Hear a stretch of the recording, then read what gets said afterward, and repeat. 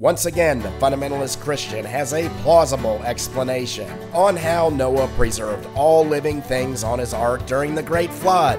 And once again, it really doesn't stand up to evidence, as we debunk yet another fable taken as fact.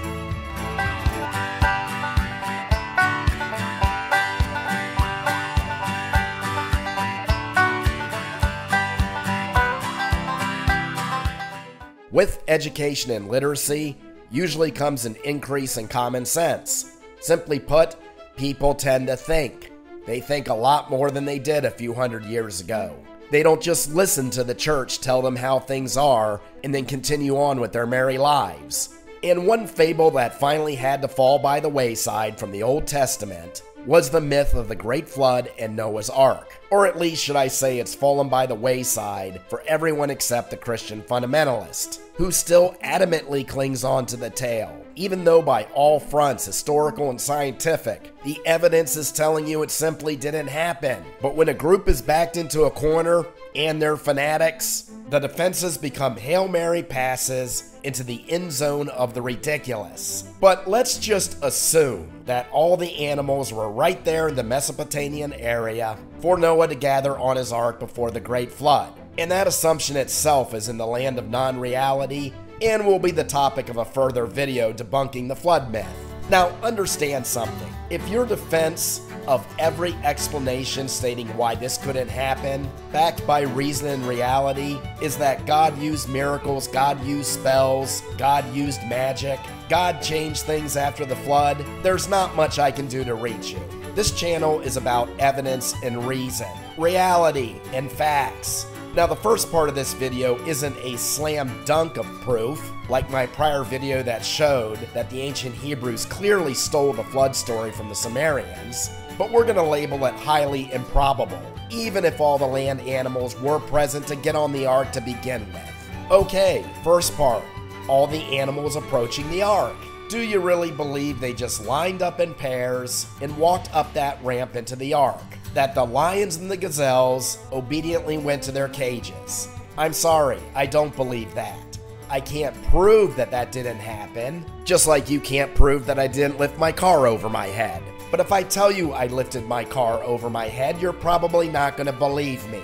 But now let's say they're in the ark. Do you have any idea how much food it would take to supply those animals for a year? As well as the water. I've only taken six animals here. Just six. A pair of elephants, a pair of horses, a pair of cows, a couple giraffes, two lions, two hippos. Then I took just the averages from a general Google search of what they eat in grasses a day.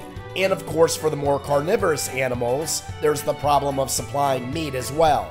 For just those six animals alone, you would need almost 400,000 pounds of food. And for those six animals, they would need about 62,000 gallons of water from the day they stepped in to the day they stepped out on Mount Ararat. So, for those six animals, could he have done it? Well, the area he lived in did have irrigation at that time, and yes, I guess it's possible he could have done it, but I wouldn't bet money on it. But here's the part one man and his family couldn't have possibly handled. There weren't just six animals, there were a couple million. Now, the creationists, of course, have an explanation that they basically pulled out of the sky since Genesis states in the story of Noah's Ark that each kind of animal should be brought, they mean only one member of the animal family. In other words, one simple dog covers the entire canine family, including the fox, the wolf, the jackal, and that God set the evolutionary hereditary factors to reproduce to these many different species from the origin family once they left the ark. And then they will further back that argument that they know this to be true because it correlates with the Bible.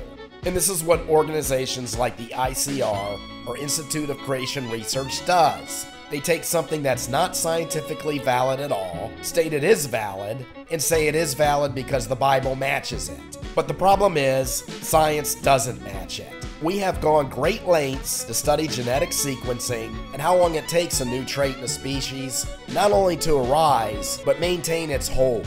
And according to Josef Uyeda, who hails from Oregon State University, that time frame is at least 1 million years. And this seems to be agreed with the rest of the scientific community that I've looked at as well. And the creationist, with his scientific inquiry that isn't backed by anyone, states that obviously all the species from the canine family re-evolved in 5,000 years. This is mathematically impossible, and this is the cumbersome problem that the creationist fundamentalist has. Noah and his family could not have fed, watered, and maintained all the animal and plant life for an entire year inside of a 510 foot ark. So they attempt to reduce the number of animals that would have actually been necessary to be in this ark to continue God's original creation. The problem is, we can absolutely slam dunk that this couldn't be possible. So, on this topic, the only way it's scientifically possible is if Noah had to contend with a few million species in his ark. Once again, the Christian fundamentalist has spoken an untruth to try to cover up an absurdity of the Bible. But there's another problem that most lay people, fundamentalists or atheists, don't even consider. If Noah and his family were the only humans to survive the Great Flood, they don't have the genetic diversity in their genes to produce the differences in humans today. So, in terms of debunking the validity of who and what was actually in the ark, you can't account for the diversity in humans today. It's hard to believe that they actually gathered hundreds of thousands of pounds of food and water because the rainwater outside certainly wasn't enough. Not to mention how you fit a few million of species in the ark to begin with. A magazine from Smithsonian suggested that an ark could maintain 2,000 to 50,000 species.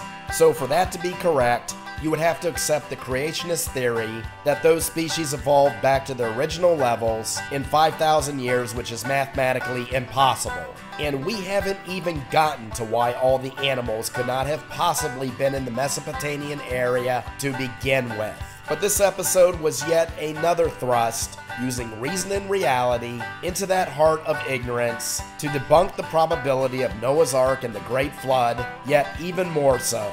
If you'd like to read a novel about what I think Christ would be like if he ever returned for the apocalypse, check out my novel The Second Fall. Link is in the video description below. And we'll see you next time as we use that sword of reason and reality and thrust it into the heart of ignorance.